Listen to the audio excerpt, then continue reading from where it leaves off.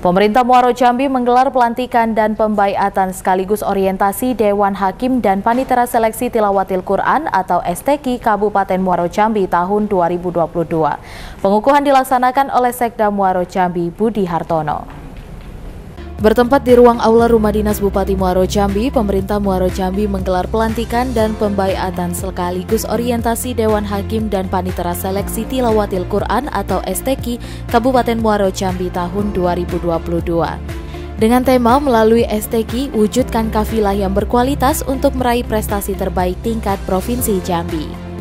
Ada puluhan Dewan Hakim yang dilakukan pembaiatan oleh Sekda Muaro Jambi Budi Hartono dalam kegiatan ini.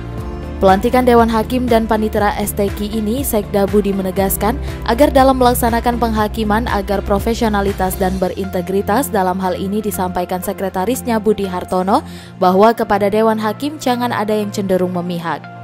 Pelantikan dan pembaiatan ini sebagai bentuk legalitas formal sebagai Dewan Hakim untuk dituntut profesional dan integritas dalam penghakiman. Dirinya juga menegaskan sebagai Dewan Hakim harus tegak lurus dalam kebenaran, apalagi yang dilombakan merupakan ayat-ayat Al-Quran. Pemerintah masyarakat Bangor Jambi. Oleh karenanya, jangan ada kecenderungan memihak, apalagi Dewan Hakim yang berasal dari tiap-tiap kecamatan.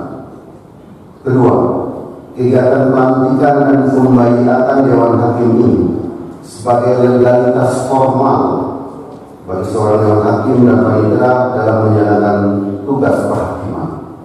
Tiga, sebagai hakim dan panitera sangat dituntut profesionalitas dan integritasnya dalam menjalankan tugas perhakiman